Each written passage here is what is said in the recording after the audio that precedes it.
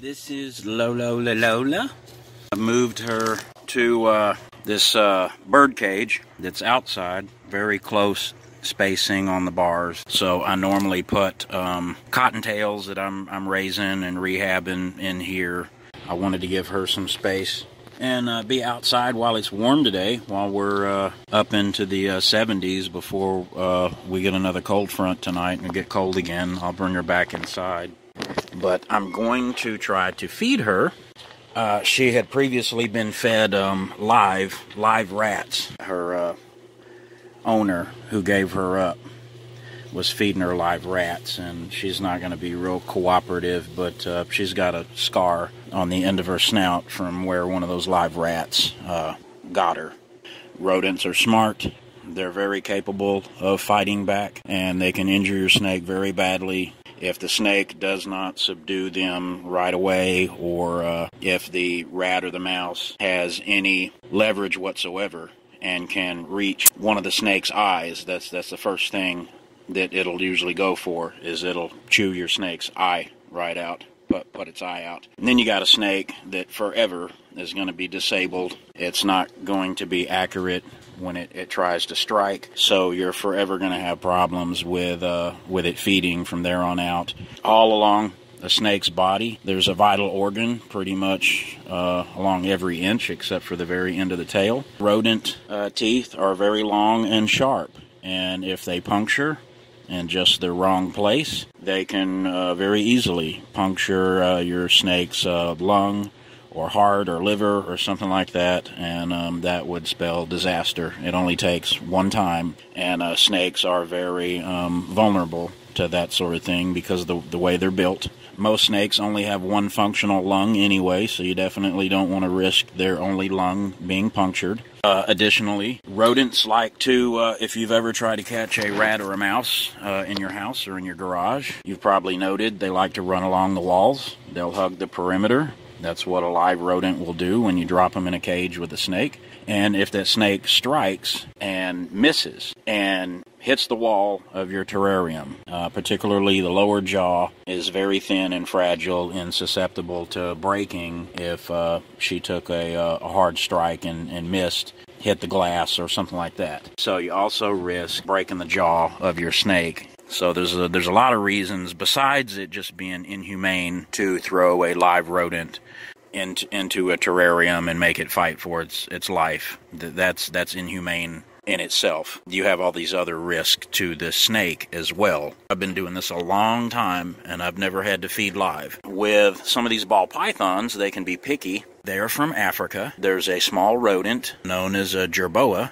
and it kind of looks like a, a big kangaroo rat. Uh, one of its closest relatives would be a, a, gerbil. A lot of times when people have these ball pythons, the uh, ball python is finicky and does not want to eat rats or mice. So they think they have to use live, and sometimes that works, but that's not really what the what the biggest problem with the ball pythons is.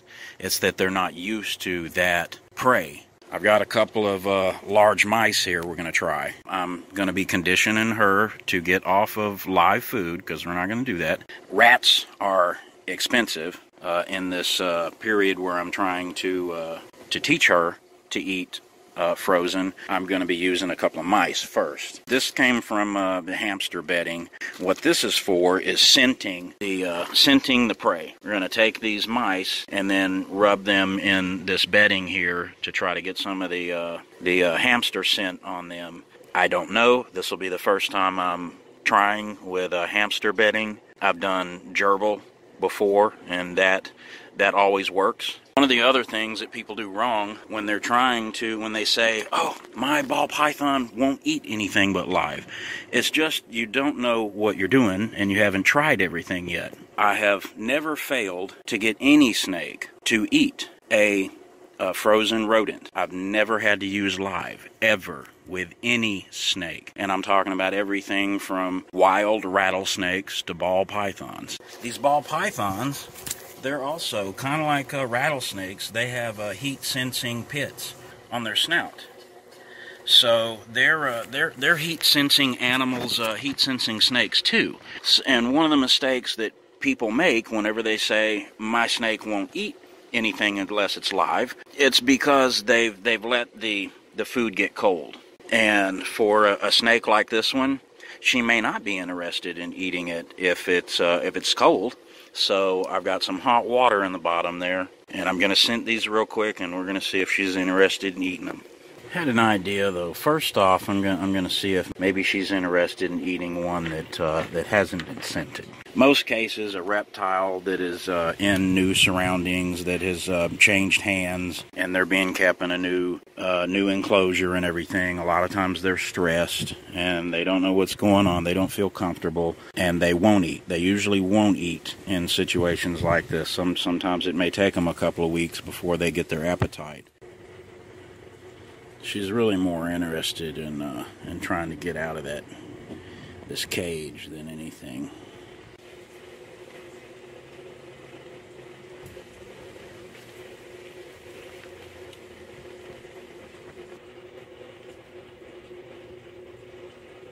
Not really interested though, because she's not she's not following it with her eyes. She's she's just not interested in eating.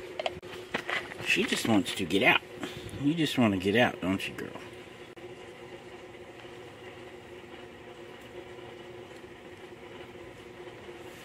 So we'll scent one then and see if that makes any difference. Okay, so I scented this one. A lot of people are under the mistaken impression this goes around in hobbyist circles. A lot of these hobbyists, uh, a lot of them who really, really think they know what they're talking about, give this advice that you have to move your snake into a different terrarium, like a feeding tank or something, to, to feed them. You absolutely don't have to do that. You don't have to move any snake somewhere differently to feed them. They're actually going to be more comfortable if you feed them in the terrarium that they live in. It's just a whole lot less risk and a lot less trouble. This one has the hamster scent on it. She seems to be more interested in this one.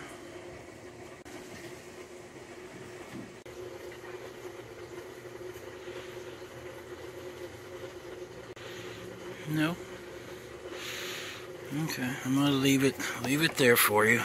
A lot of these people who say you have to move your snake and feed them elsewhere, their rationale is that if you feed the snake in the same terrarium where it lives, it's more likely to bite you whenever you stick your hand in there because then they somehow associate their home with food and then therefore they will uh, they will bite you. That's not really true. The mistake that these people are generally making is that they may be feeding by hand. So they have rodent scent on their hands. They're not using utensils like I am, long handled forceps, or they're not using gloves. They get uh, rodent scent on them.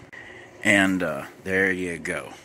Hamster scent worked. Previous owners said they've had the snake for six years and she would only eat live. I've had this ball python two days. This is the first day I've offered her food. Works every time it's tried. Never failed to get a snake off of live, but there's a trick. You have to make sure it's properly scented. You have to make sure the snake is warm enough and is in the mood to eat. You have to make sure that the prey is warm enough so that the snake may be fooled into thinking that it's still alive. But scent plays a big part of that. You notice that she got closer and she kept smelling and smelling, and finally she was convinced. Maybe she's going to swallow it the wrong way. Uh, getting back to what I was talking about with these people that say you can't feed the snake in the same terrarium where it lives. If you're using your bare hands, yeah, the snake, it, it's it's not about conditioning the snake that um, they associate their home terrarium with feeding. It's that they're associating your hand with feeding. If you're using utensils to give you the standoff distance and you're using gloves, you're not you're not getting the rodent scent on you. The snake starts to what it does is it associates the utensils or the rodent itself with food. I've never had to use a feeding tank and there's uh, there's really no reason why you should have to either if you're using proper technique. Now, I don't know what she's doing here. She's not really subduing it. She's not really trying to eat it either. But either way, even if she doesn't eat it, this uh, validates for me that I'm not going to have a whole lot of problems. Even if she doesn't eat it this time, she probably will another time. The the fact that she even struck this and he- held on to it this this quickly after being introduced to a hamster scented mouse, yeah, she's gonna eat it. She's just gonna she's gonna eat it from the from the back end, which is the wrong way. Yeah, it's just that that simple. So here's she's a smart snake. She knows what she's doing. Just all that work in the mouse around in her mouth, she was just uh, turning it around. So now she's swallowing it the right way. So leave her be.